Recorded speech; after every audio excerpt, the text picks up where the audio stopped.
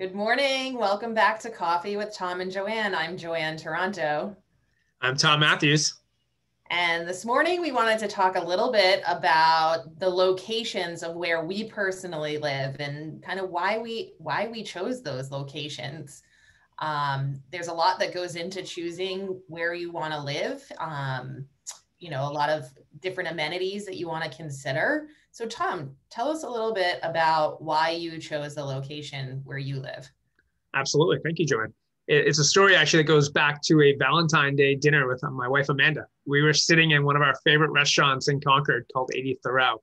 And we were saying it's um, located in the depot right above the train station. And we said, wouldn't it be cool to be able to walk to this restaurant and to be able to walk around Concord? So we actually bought a house on Elsinore Street which is in a neighborhood called Behind the Depot. So it's right outside of Concord Center. And we bought it seven years ago. And for Amanda and I, we love to walk. We lived in Maynard before this and we walked to town there. And we wanted to be able to walk to coffee shops. We go to Starbucks and Dunks and Cafe Nero and Haute Coffee. We have all these different places that are at our fingertips.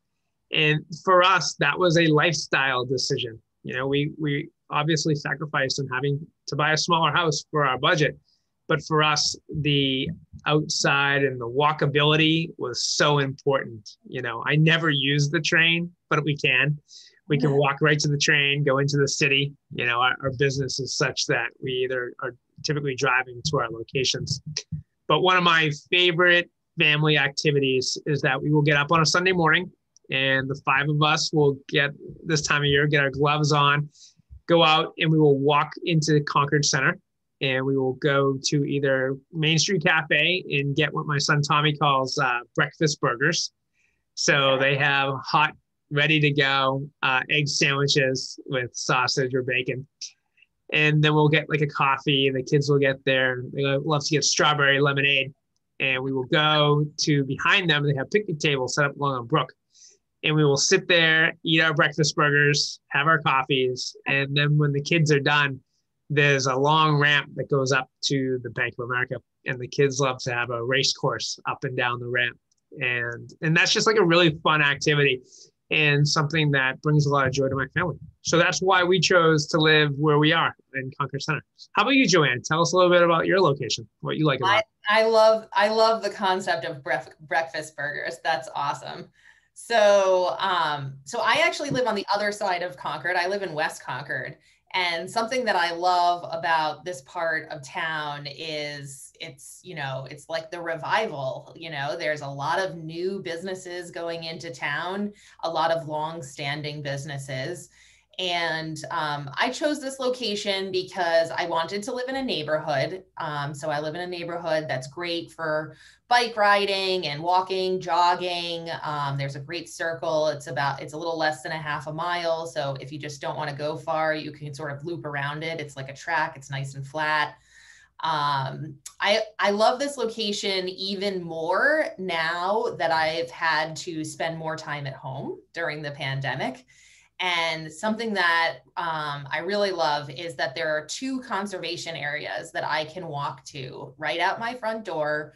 Um, a quick walk down to the end of Wright Road brings you to a wonderful area where um, I think that the I think the trees there were probably planted because they're really uniform, but I mean they're huge. Like, and we're talking about planted trees from maybe 60 or 70 years ago. Um, but it goes along the river there um, out to the school street fields. We love to walk back there. It goes into the Acton sand pits. There's some great little treasures back there for um, trees to climb and so forth. So my kids and I, we love to go there. There's also um, Concord Park uh, trail that's on the other side of the road from us. And um, that's like a great little loop. You, you don't really encounter that many people back there, but often people, you know, will walk their dogs um, but lots of little treasures down there. Uh, there is an area that kids can ice skate if you want to maintain the ice. And um, it's just like a shallow, um, I think it's probably like a drainage area, but it's a great little spot that I've been told in generations past that lots of kids have spent their entire winters ice skating there. Um, I can also walk to the park to Rideout Park. So um, getting down to the park is is is a zip, and we love going down there and playing there, meeting up with friends, and then also just uh, the new rail trail. Uh, being able to get on that, and you know, right now they're building the bridge that's going to go over Route Two, and um, from one of the conservation areas, you can actually watch them building the bridge. So sometimes we sit and have a snack and watch the guys building the bridge.